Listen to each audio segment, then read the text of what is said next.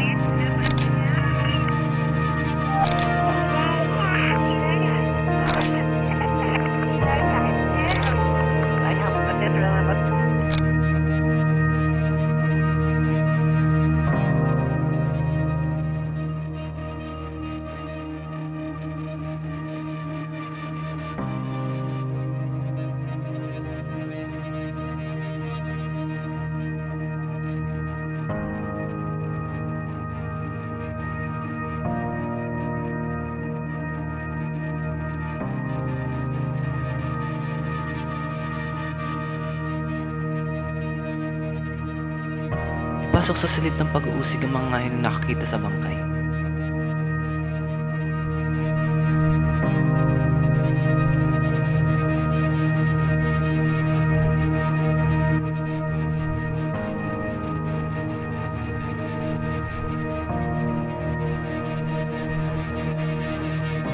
Ikaw nga ba ang nakakita ng katawan? Ilahad mo ang lahat ng iyong nakita. Lahat ng detalyeng napansin mo sa paligid ng bangkay at sa mismong bangkay. Tama ka, Ginoo. Katunayan, ako nga ang nakakita sa katawan. Kaninang umaga, tulad ng nakagawian, ako ay nangangahoy ng mga sedro. Nang makita ko ang katawan sa kakahuyan sa isang lungga sa kabundukan. Ang mismong lugar, mga isandaan at limampung metro mula sa kalsada ng Yamashina. Ito ay hindi isang madadaan ng kakahuyan ng kawain at sedro. Ang katawan? Ang katawan ay nakahiga ng tuwid at nakasuot ng mabughaw na sedang kimono at isang lukot na damit sa ulo na estilong Kyoto. Isang tama ng espada ang tumusok sa dibdib. Ang mga nalaglag na dahon ng kawain sa paligid nito ay may bahid ng madugong bulaklak. Ang dugo? Sariwa pa ba? Hindi. Ang mga dugo ay hindi na dumadaloy. Sa aking paniwala, ang sugat ay natuyo na.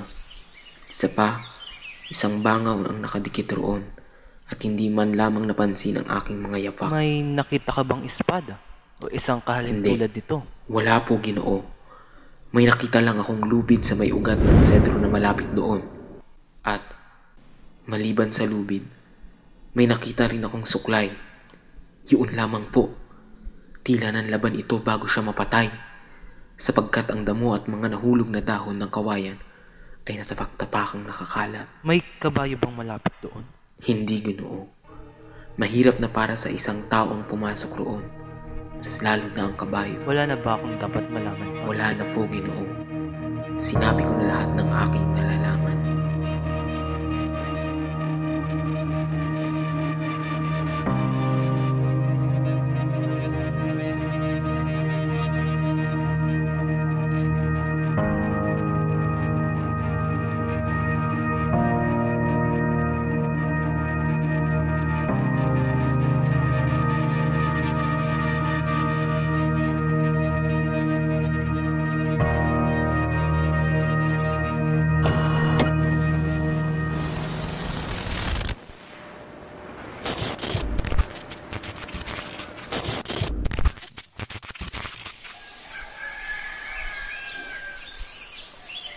Anong oras mo nakita ang biktima at ang asawa nito?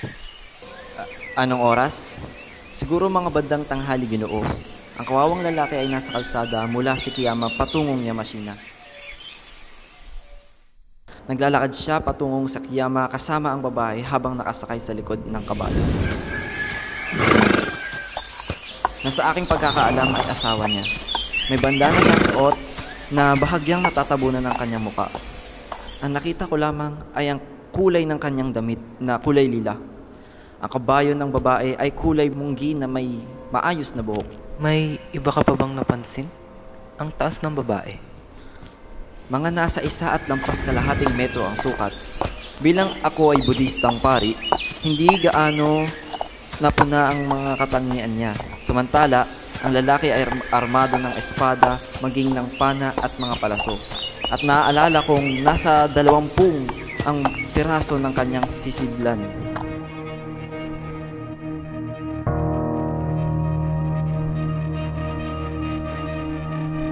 Kabaro, tulungan tayo. Trabaho natin ito. Sabihin mo sa akin ang tungkol sa lalaking nahuli mo. Siya ay kilalang maganakaw na kung tawagin ay si Tajomaru. Nang siya ay hulihin ko, nahulog siya mula sa nasakyan niyang kabayo. Dumadaing siya sa tulay sa may Awataguchi. Ano ang oras ng pangyayari? Ito ay mga simulang oras ng gabi. Kung tutuusin, maaari ko sana siyang hulihin nung nakarang araw pa, ngunit sa kasamaang palad ay nakatakas siya. Nakasuot siya ng madilim na asul na kimono at may dalang malaking espada.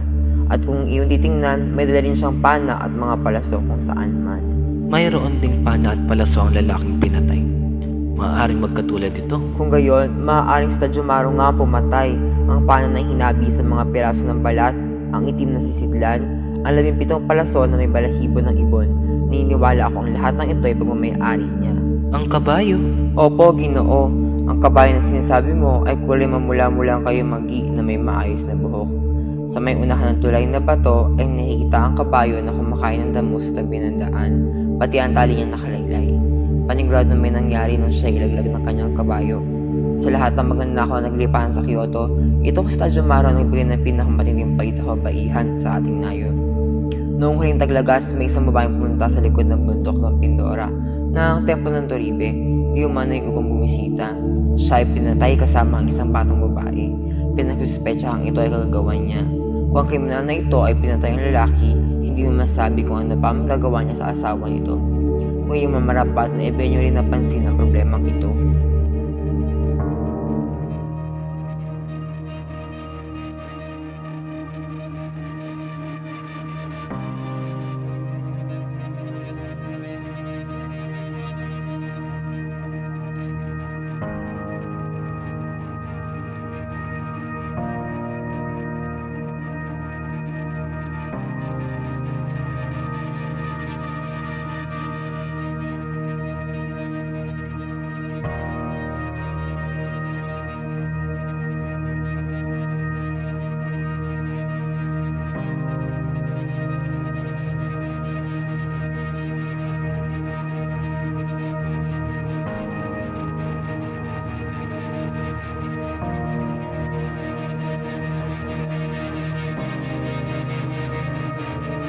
Ano ang iyong ugnayan sa lalaking ito?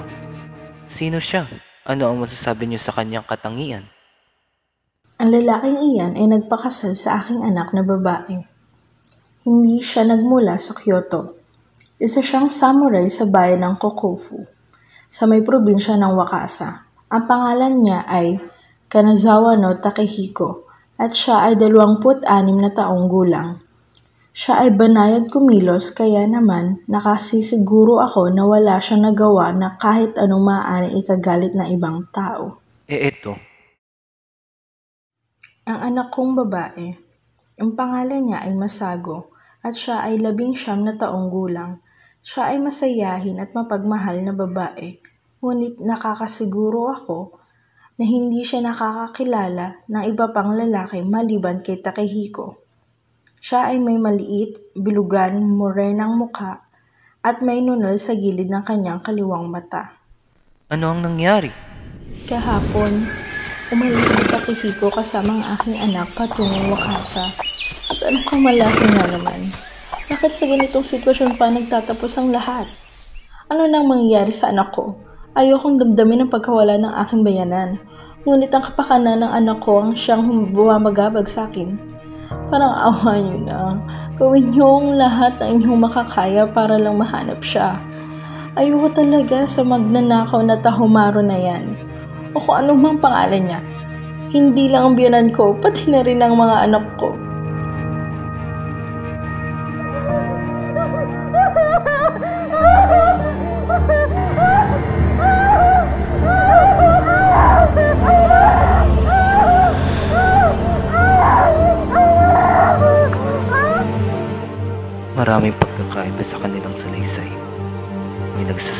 Totoo at may nagsisinungaling. Sa tingin ko'y sapat na ang aking mga narinig. Iharap na sa akin ang magnanakaw na si Tadyo Maru. Dalhin ninyo siya sa silid ng pag-uusig.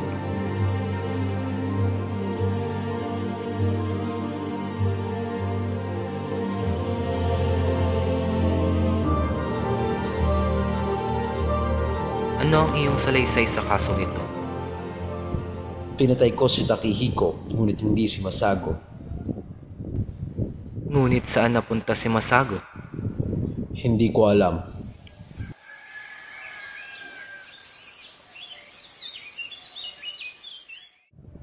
Sandali lamang.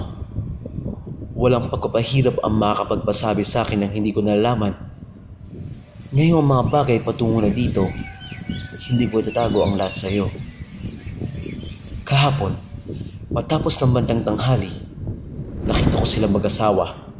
Umihip ang hangin kasabay ng bandana at lumabas ng bagya ang mukha ng kanyang asawa. Doon ko nakita na saglit ng kanyang mukha hanggang sa matakpan na muli ito. Bakit? Para sa akin, ang pagpatay ay walang mabigat na parusa. Di gaya ng iniisip nyo. Kapag ka ang babae nakuha na ng iba, dapat di namang mamatay na ang asawa nito. Mukhang sanay ka sa pagpatay. Sa pagpatay, madalas kong gamitin ang aking espada. Ako lang ba ang taong pumapatay? Hindi nyo nga ginagamit ang mga sandata nyo, ngunit pinapatay nyo naman ang mga taong gamit ang inyong kapangyarihan, ang inyong mga kayamanan. Minsan, pinapatay nyo sila upang masabing para ito sa kanilang kapakanan. Totoo, hindi dumadana ka kanilang mga dugo. Katunayan, sila ay nasa mabuting kalusugan. Ngunit pinapatay nyo sila. Mahirap sabihin kung sino ang mas makasalanan sa atin, ikaw o ako. Ituloy mo ang iyong pag-amin. Magiging maayos kung makukuha ko ang babae nang hindi pinapatay ang kanyang katipan. Kaya nagdesisyon akong kunin ang babae at gawin ang lahat ng aking mga kaya upang hindi siya mapatay. Ngunit mahirap gawin niyon dahil sa kalsarang Yamashina, kaya gumawa ako ng paraan upang dalhin sila sa loob ng kakahuyan. Madali lang iyon. Nagpanggap ako kanilang gabay sa kakahuyan. Sinabi ko sa kanila na may lumang siwang sa kakahuyan at doon ko nahukay ang maraming mga salamin at espada. Pinagpatuloy ko ang pagsasabing nilibing ko ang mga ito sa likod ng bundok sa may lugar na maliliit na kapunuan. At gusto ko ito yung pagbili sa kanila sa murang halaga o sa kahit na sino na gustong makuha ang mga ito. Tapos, tingnan mo, hindi ba't ang pagkagahaman ay nakakasulaso? At nagsisimula na siyang maniwala sa aking sinasabi bago ko ba ito'y malaman. Sa loob lamang ng kalahating oras, sila'y sumama na sa akin patungo sa kalaliman ng kakahuyan. Nang siya'y makarating sa harapan ng mga maliliit na puno, sinabi ko sumama sila sa akin na tingnan nyo. Ang lalaki walang pagtinggi sa akin. Marahil na bulag sa pagkagahaman. Nagsabi ang babae na maghihintay na lamang siya kasamang kabayo. Hindi ito alintana dahil nakita niya ang kakapalan ng mga puno. Para sabihin ko sa iyo totoo, ang plano ko ay gumana pag-iwan sa babae. Ang mga puno ay bamboo lamang at mga bandang limampung yarda paharap na doon ang tupok ng mga punong sedra. Ito ang pinakamainam na lugar para sa aking plano. Nagsinungaling ako sa kanya at sinabing ang mga kayamanan ay nakalibing sa ilalim ng punong sedra. Nang sabihin ko yun sa kanya, nagmadali siyang tahakin na makipon na daan sa mga punong sedra. Matapos ang sandal, numipis na ang mga punong bamboo at napunta kami sa lugar kung saan kakaunti na lamang ang mga puno. Agad ko siyang sinunggapan sa likuran. At dahil siya ay mahusay na mandirigma, siya ay may lakas na lumaban. Ngunit siya ay nabigla kaya wala ng pag-asa para sa kanya. Tinali ko siya sa puno ng sedra. Saan ka nakakuha ng lubid? Salamat sa Diyos, ako isang magnanakaw. Ako'y may dalang lubid sakali mang kailanganin ko ito upang tumakas sa mataas na pader. Malamang madali na lamang pigilan siya upang makatawag ng tulong sa pamagitan ng paglalagay ng mga dahon ng bamboo sa kanyang bibig. Nang sandaling nakita niya ang asawa ay kagad siyang kumuha ng maliit na punyal. Ni minsan hindi pa ako nakasaksi ng babaeng kasing bayolente niya. Kung hindi ako naging alisto ay maaari na saksak niya ako sa tagiliran. Iniwasan ko ang pag-atake niya, ngunit patuloy lang siya sumusugod. Maaaring masugatan niya ako ng maluba at patay pa nga. Ngunit ako yata si Tajumaru. na kaya kong ibaba ang punyal niya nang di ginagamit ang espada ko. Ang pinakamatapang na babae ay walang kalaban-laban kung walang sandata. Buti na lang at mapupuno ko ang aking pagnanasa sa babae nang hindi pinapatay ang kanyang asawa nang hindi kinikita ng buhay ng lalaki. Hindi ko binalak tapusin siya. Patakasasana ako paalis sa kakahuyan, iiwanan ng babaeng humihikbi na bigla ay nagmadali siyang kumapit sa braso ko. Sa hindi tuloy-tuloy na salita ay iminikan niyang dapat na may mamatay sa amin ng kanyang asawa. Mas matindi pa sa kamatayan ang pagtantong dalawang lalaki ang may alam ng kahiyan niya. Ibinulong niyang gusto niyang maging asawang na kung sino mang makakaligtas. At bigla'y tilay isang masinting pagnanais ang lumukob sa akin para patayin na lalaki.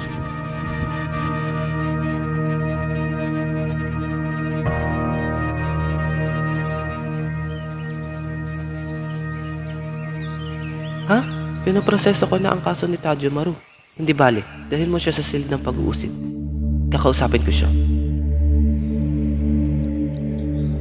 Yung lalaki na nakasuot ng sedang kulay asul na kimono. Matapos niya akong pwersahin na sumuko sa kanya. Mapalokso niya ang pinagtawanan ng aking nakagapos na asawa.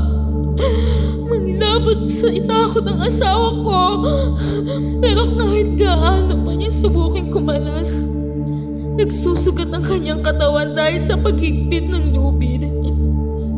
Kahit ako'y nahihirapan, pilit akong tumakbo sa kanyang tabi. Ngunit kahit subukan kong tumakbo papunta sa kanyang mabilis, akong napatumba ng lalaki. Sa mga oras na iyon, may nakita akong di may paliwanag na kislap sa mga mata ng aking asawa. Bagay na higit pa sa kanyang wangis. Hanggang ngayon, ay kinikilabutan pa rin ako sa mga titig na yun. Iyong madali ang tingin ng aking asawa na hindi makasabi kahit isang salita ay pinahiwatig ang kanyang buong puso. Ang kislap sa kanyang mga mata ay alinmay hindi galit ni Bighati. Isang malamig na tingin. Tingin ng pagkamuhi. Mas nasaktan pa ako sa kanyang tingin kaysa sa suntok ng magnanakaw. Kahit na ako'y nahihirapan, patuloy ko siyang tinatawag hanggang sa mawalan na ako ng malay.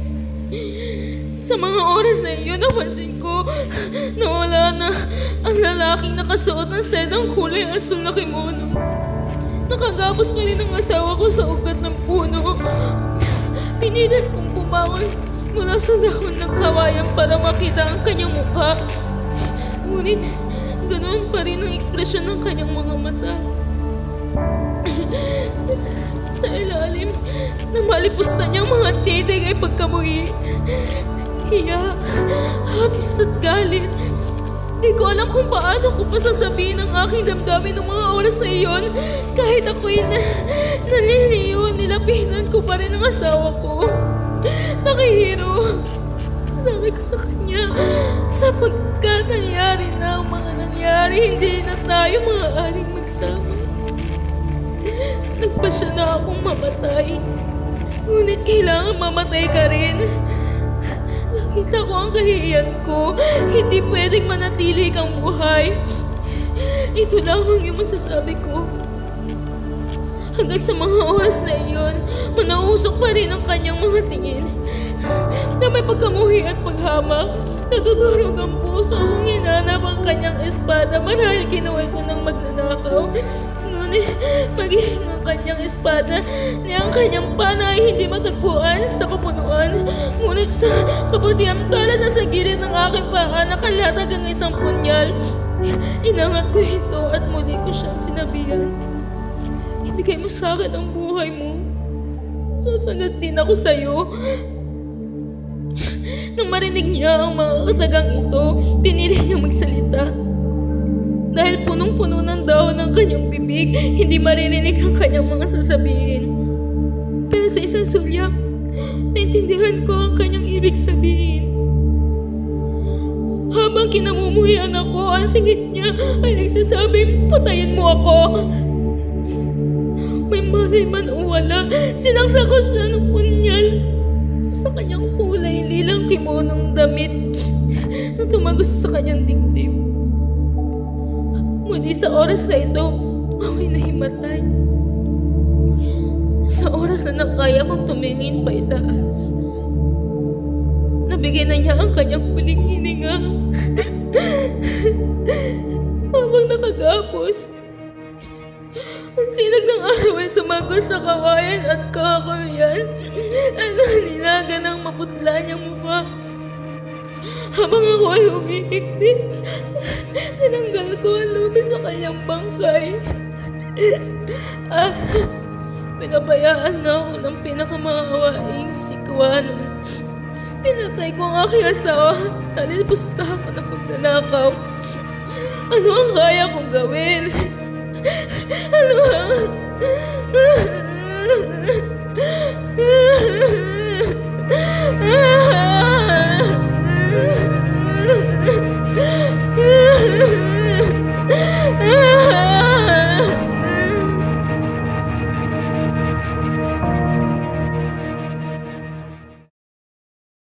Hepe, may isa hong espiritista ang nasa labas. Hindi raw siya matatahimik dahil may gumagambala raw sa kanya at tanging ang pagdinig niyo sa kanya ang makakapag-alis rito. Hindi ko maintindihan. Dalhin mo siya sa isang silid ng pag-uusig.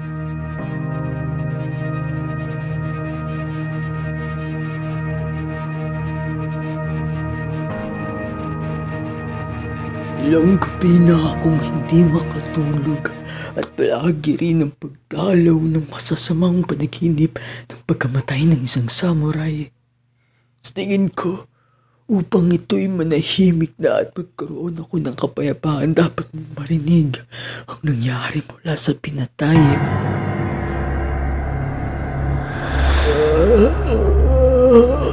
Sindiwewe.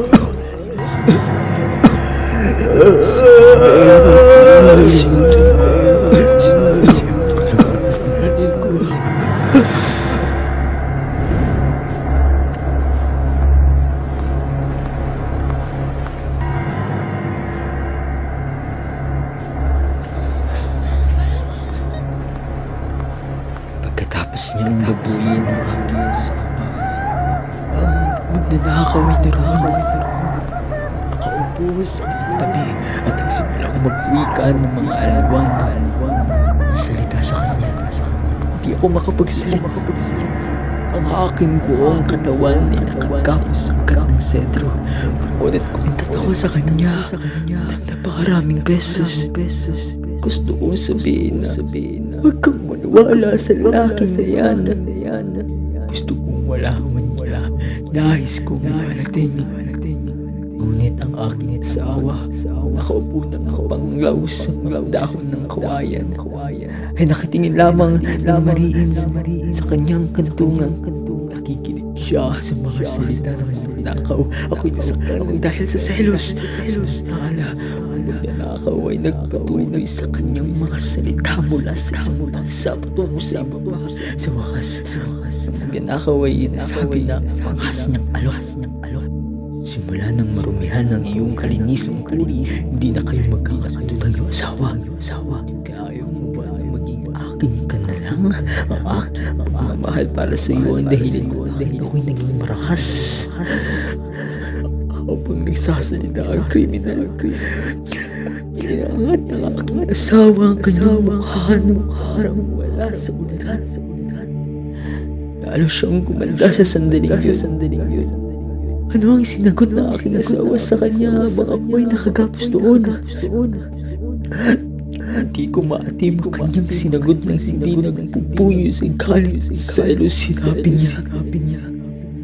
Hindi ako isama mo kahit saan ka man magtungo. Di lamang yan ang sala ng aking asawa. Kung yan lang, hindi ako magpapalago ng gusto sa kadiliman ng kamatayan. Nagpalis na siya sa kasawayan. At tila, bigla siyang nabigla at tinuro ako, patayin mo siya. Hindi kita maaaring pakasalan lamang siya ay nabubuhay. Patayin mo siya. Sinigaw niya ng napakaraming beses na tila ba nawawala na siya sa kanyang sarili. sa mga salitang ito. Ito, magnanakaw mismo na patayin mo siya. Ikaw na aking asawa habang nakakapit sa kanyang mga bisig. Marin siyang nakatingin sa akin sa akin sa hindi siya sumagot na oo, hindi. Ngunit, hindi ko na pag-isipan ang kanyang sagot na kuya ito lang ang aking asawa at bumagsak. Ito sa mga dahon ng kawayan. Pagkatapos makatakas ng aking asawa ay pinulot ng magnanakaw aking espada, aking mga pana at palaso. At sa isang malakas na palo, pinuto niya ang isa sa aking mga kiss. Kiss. Narinig ko siyang pumulong. Siyang pumulong. Kapalaran ko na susunod. Nakahikaroon na ako. Ako ay binalot na ng katahimikan na. Pagkatapos isang taong kumapag sa akin. Sinubukan kong sinipin kung sino ito. Sino ito? Ngunit, ang katiliman ng kamatayan ay naipon sa akin. Kung sino man yun, sino man yun, taong yun ang nagtanggal ng kutsina sa aking dibdib ng marahan. Sa kaparehong oras, marami pang dugo ang dumali sa aking bibig. At sa wakas, sa wakas, ako ay lumubog na, na sa madilim na kawalan. Tapos na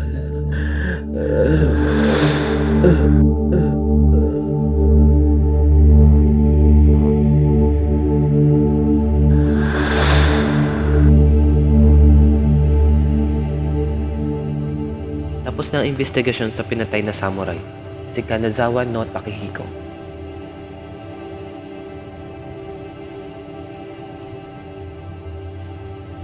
Mahirap ang naging takbo ng aming pag-iimbestiga, ngunit may isang katotohanan kaming nahanap, at ang paghahanap sa katotohanan ay tapos na. Sino ang pumatay?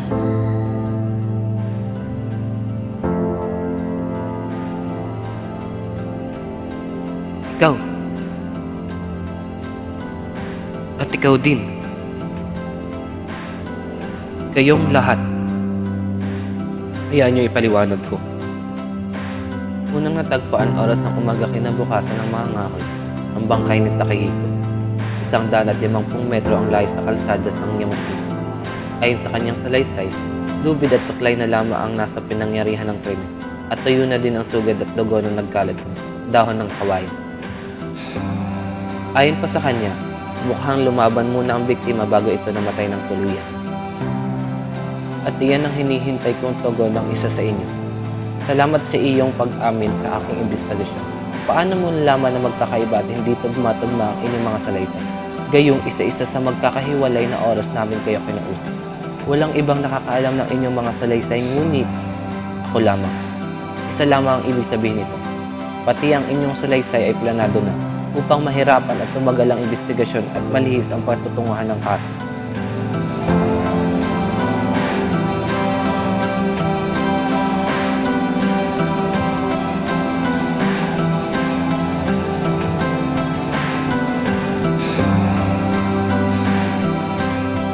Kailan pa ba ako naging bulag sa katotohanang nakalatag sa aking harapan? Matagal na ang nakalipas. Kailan pa?